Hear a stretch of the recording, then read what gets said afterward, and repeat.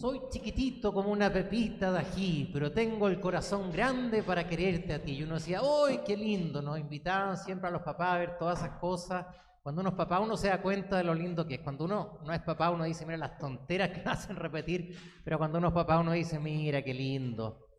Esa frase tan simple, ah, soy chiquitito como una pepita de ají, pero tengo el corazón grande para quererte a ti, tiene mucha relación con este evangelio del día de hoy de la fe chiquitita, así como un grano de mostaza. ¿Han visto un grano de mostaza? Chiquitito, lo más pequeño que hay. Era lo más pequeño que se podía plantar. No existe una semilla más pequeña que el grano de mostaza. Pero, igual que la pepita de ají, puede llegar a ser muy grande. El grano de mostaza en un año podía crecer tres metros. Gigante, una cosa pero sí enorme y podía dar muchísimo fruto si es que se cuidaba exactamente igual como debe ser nuestra fe. La fe a veces es una fe chiquitita, pero igual que un grano de mostaza, igual que cualquier semilla, las semillas no dan frutos solas. Haz la prueba, deja una semilla arriba de una mesa y mírala. Un día, dos días, tres días.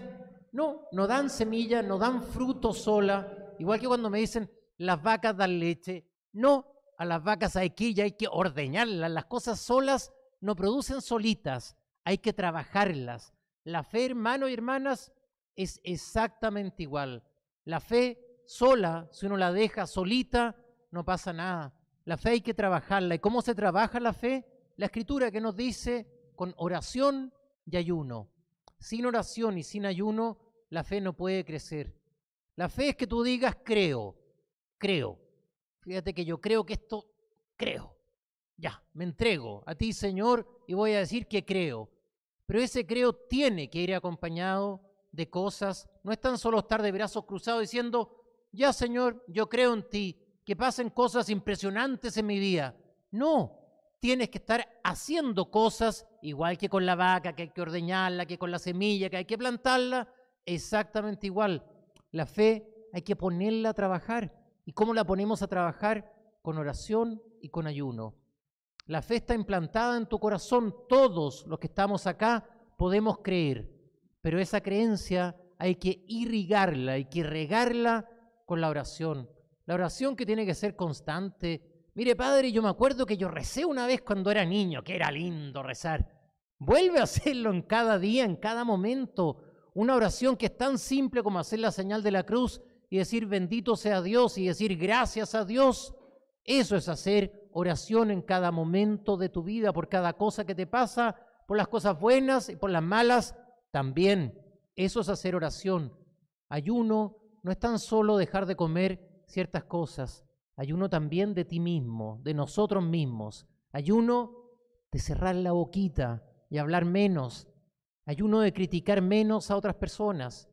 Ayuno de dejar de lado las cosas que a mí tanto me gustan por pensar más bien en las cosas que le gustan a los demás. ¿Se han fijado que hay personas que tú conversas con ellos, lo primero los saludas, hola, y te dicen, hola, ¿cómo está padre? Lo que pasa, y te empiezan a contar 500 cosas de ellos y jamás te preguntan, ni siquiera por un instante, padre, ¿cómo está usted? ¿Cómo le ha ido? Eso es ayunar. Ayunar es ayunar de ti mismo y poner al otro como el protagonista de la historia.